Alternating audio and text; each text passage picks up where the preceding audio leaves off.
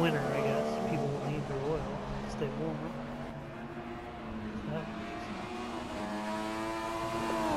So, Well, hopefully we can find one or two guys. oh shit! Should we not? Oh!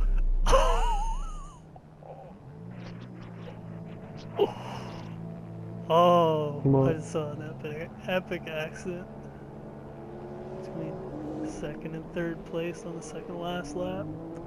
This guy tried to pass him, the other guy tried to come back in the lane, and they both collided and then went hard into the walls.